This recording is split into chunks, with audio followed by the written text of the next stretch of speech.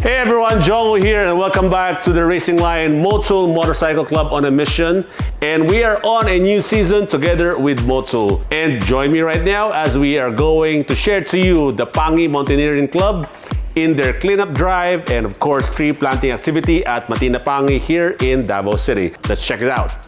This segment is presented to you by.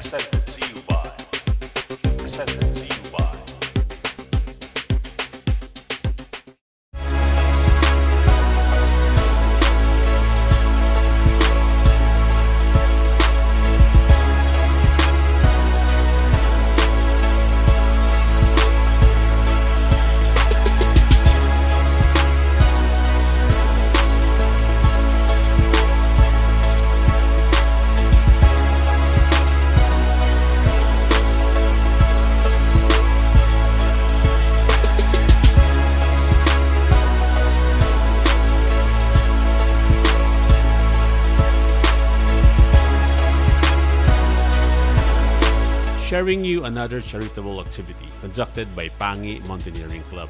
As they celebrate their first anniversary, they have conducted this feeding program and tree planting activity called Balik Kalikasan Project, administered by the Barangay Council of Pangi and Kulupik. We ride going to the area and hike going to Kulupik for the tree planting project.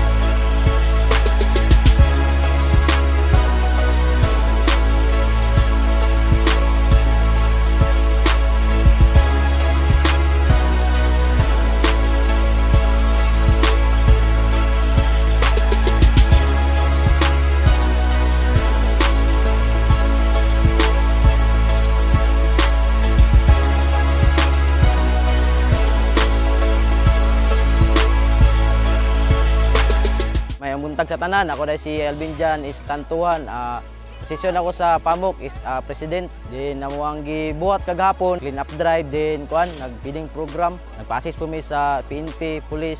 Ay isa po namo pas- pasalamatan sa mong tree planting ug sa mong feeding program ang muang barangay kapitan na si Benjamin Tibadon ug sa mga kagawad. Salamat po ko sa naadri karon nga nitambong sa muang first anniversary ug sa uban pa nag-sponsor sa Paag Ah, ako dahil si Bebs Tabora, Team Damak on Team Tabora Speak. Ang mga bukas si dari ah, sa area dahil sa Matinapangi, ang pag-tree planting, ang pag-clean drive, o nagpasalamat po ko sa mga ubang mga members, sa mga team Ayoda, tanan mga nangadto dari ang grupuha, o sa Pamuk. Salamat po kay Sir Brian, Bungot Team, o kuan. Federation Team, o kang Brian po na Raising Line. Salamat kaayo sa paghimamat sa tanang Mountaineers o sa mga ano, mga tanang members, salamat kaayo and God bless. Ay ako dahil si Martin Boldadora, member sa PAMOK. And kani, gibuhat na mo ni ang event sabay sa mong anniversary kay para ipakita nga mong advocacy sa pagiging mountaineers, which is ang pagtanom, which is gibuhat na mo ganina ang tree planting o ang pag-clean up drive dayon sa among pagbalik kauli. Sa mga mitambong o misalmot sa among event, ilabi na sa Team Damak na nitabang sa amua kay Sir Brian sa pag-assist sa amuang pagbuhat sa event.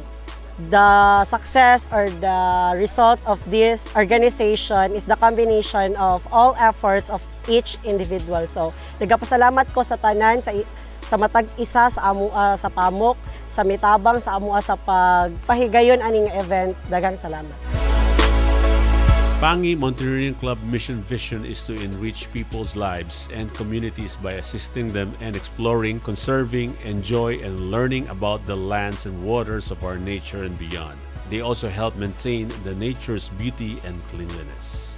Thank you so much, Pangi Mountaineering Club, for making this happen. I hope that you will be able to inspire more mountaineering clubs to follow your footsteps.